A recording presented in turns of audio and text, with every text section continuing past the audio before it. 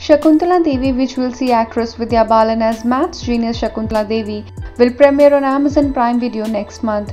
The film is based on the life of Shakuntala, who is widely revered as a human computer for her innate ability to make incredibly complex calculations within seconds. The film also stars Sanya Malhotra, who will be seen playing the role of Shakuntala's daughter Anupama. The movie also stars Amit Sadh and Jishu Sen Gupta in pivotal roles. Helmed and written by Anu Menon, the film has been produced by Sony Pictures Network Productions and Vikram Malhotra. The announcement comes a day after film director Shoojit Sircar, along with actors Amitabh Bachchan and Ayushmann Khurrana, confirmed that their upcoming film Gulabo Sitabo will directly release on the OTT streaming platform instead of going to the big screen first.